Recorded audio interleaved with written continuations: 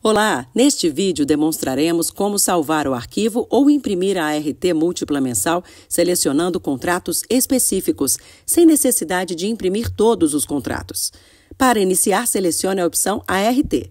Em seguida, clique na opção Pesquisar. Você poderá realizar a pesquisa através do número da ART, utilizar os filtros disponíveis ou clicar diretamente no botão Pesquisar. Neste exemplo, vamos clicar diretamente no botão Pesquisar. Identifique a ART desejada. Em seguida, clique em Ver item. Você será direcionado para uma página onde poderá verificar o número e os detalhes da ART escolhida. Localize e clique no botão Imprimir a ART.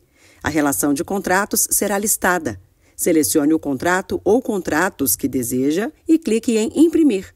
Pronto, basta salvar o arquivo ou realizar a impressão da ART.